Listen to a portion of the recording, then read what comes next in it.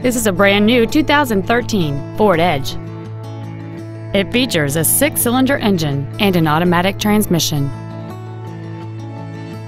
Its top features include a multi-link rear suspension, a low tire pressure indicator, aluminum wheels, and traction control and stability control systems.